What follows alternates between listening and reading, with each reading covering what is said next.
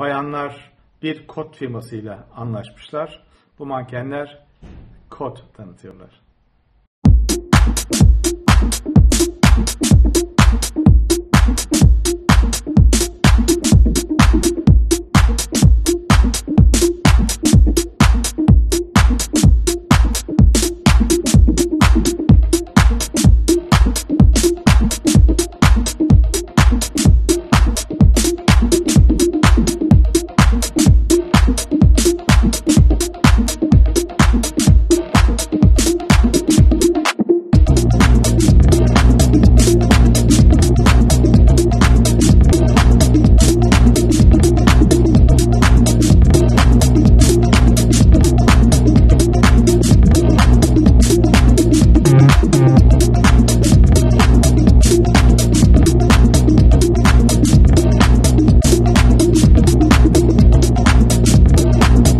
Maksat eğlence olsun, keyif olsun. Güzel haberlerin de, keyifli haberlerin de bir tadı olsun istiyorum.